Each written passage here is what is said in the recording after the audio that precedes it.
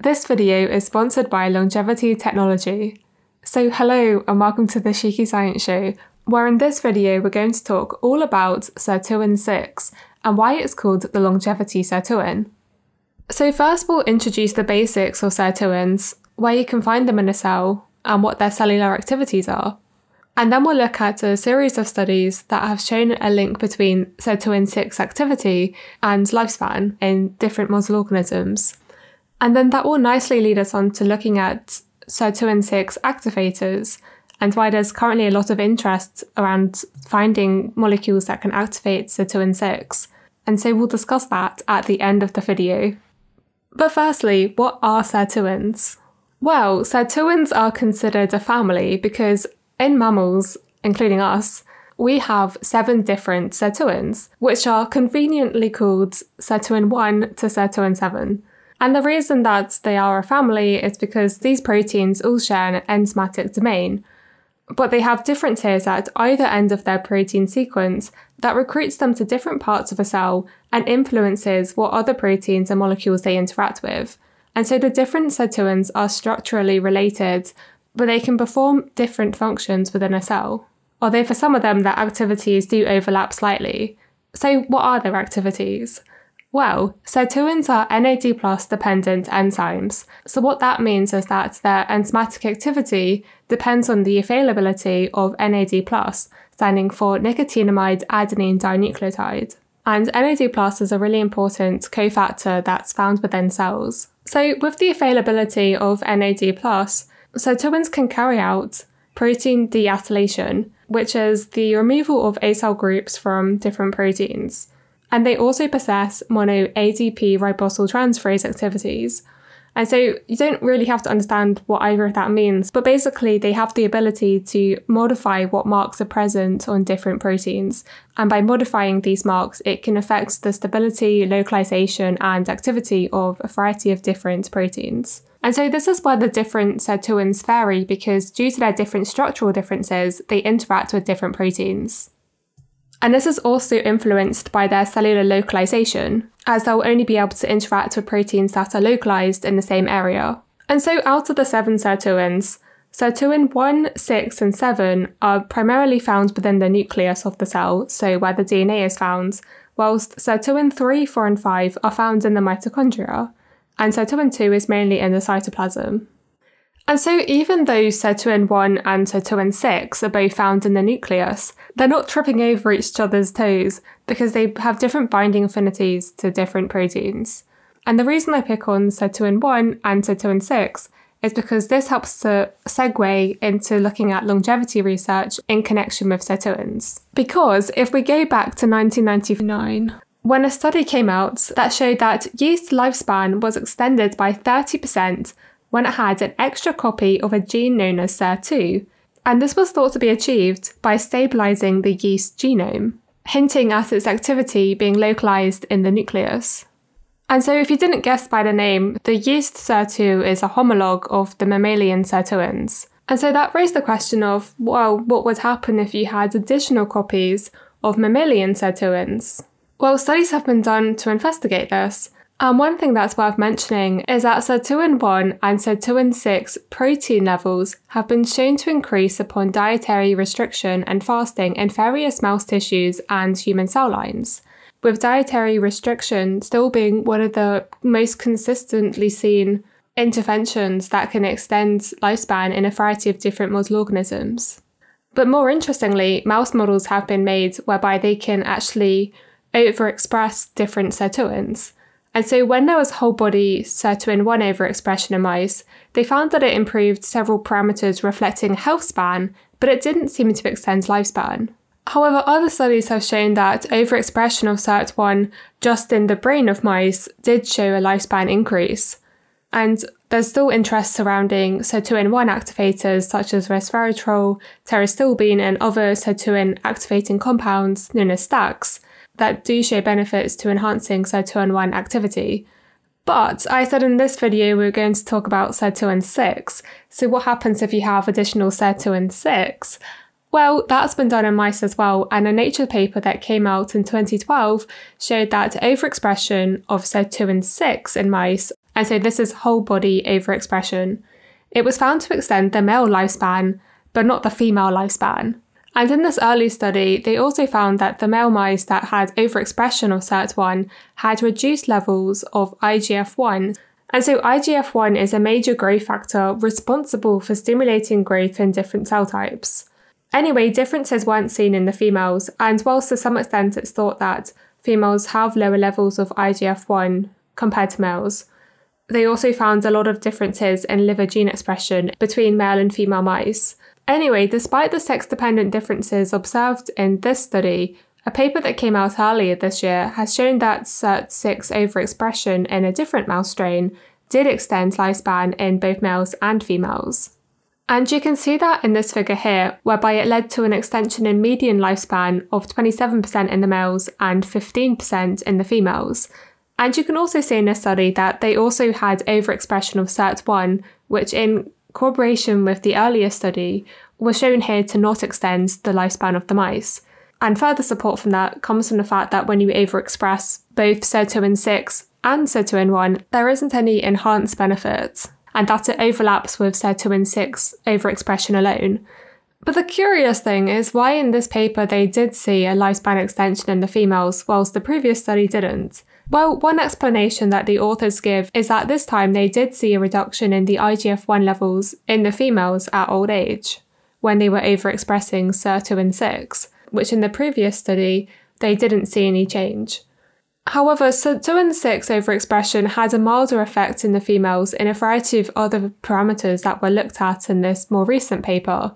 For example, the treadmill endurance benefits and changes in the liver transcriptional profile showed milder changes in the females than the males. And so, if we put the information from both studies together, it does suggest that the female benefit is less than in the males. But why that is the case still does seem a little bit unclear.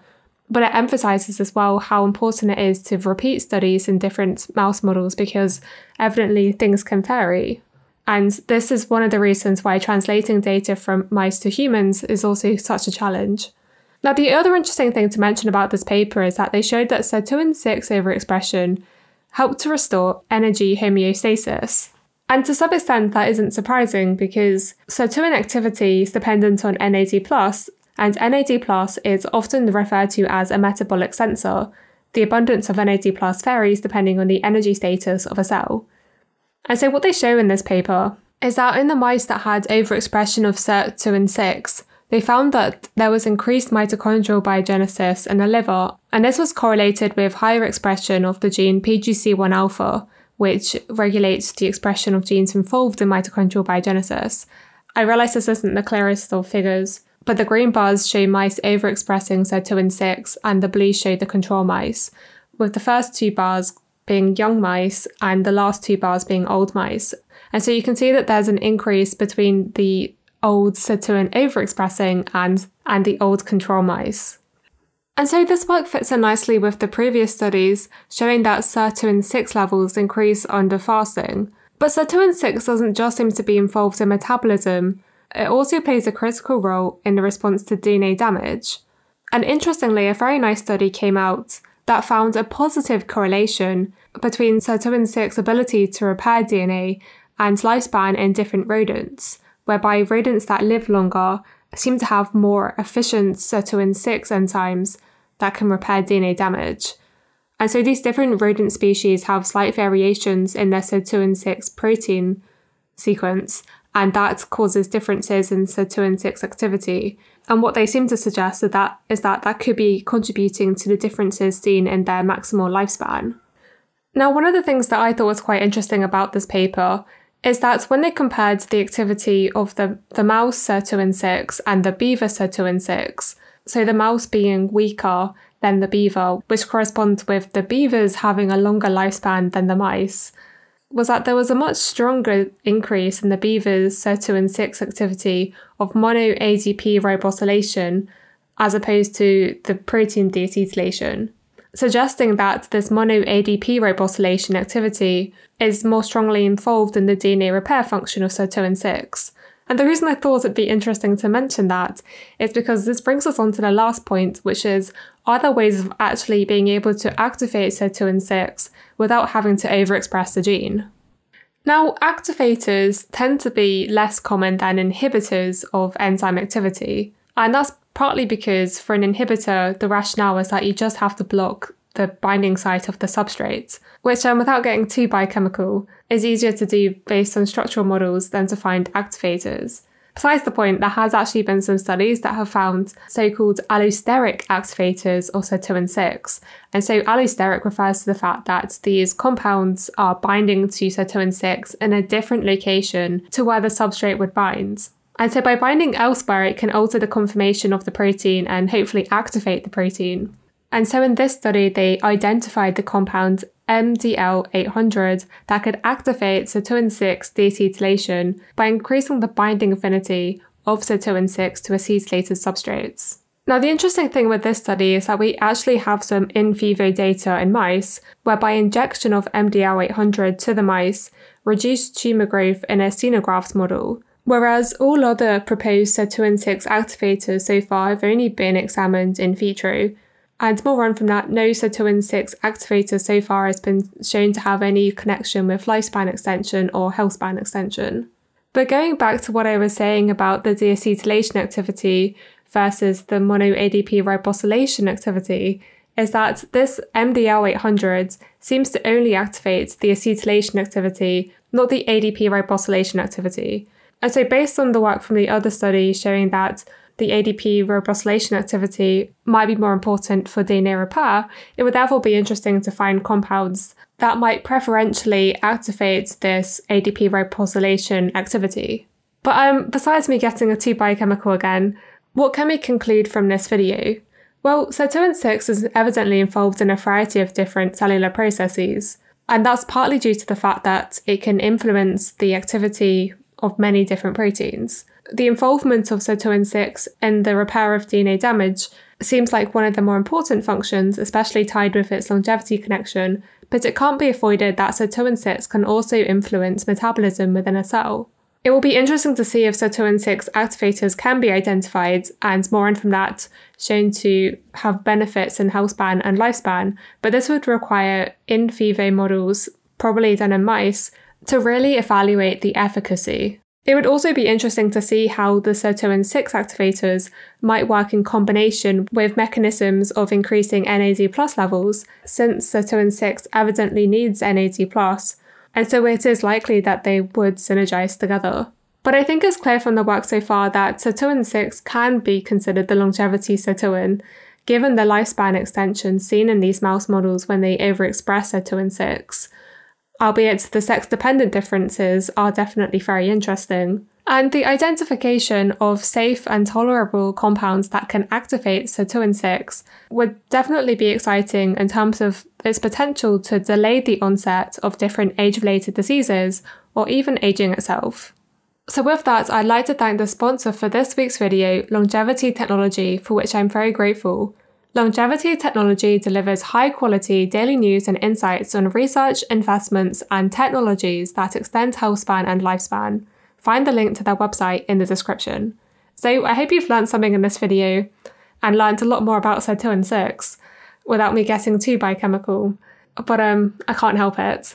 So thank you to my Patreon supporters and thank you for listening.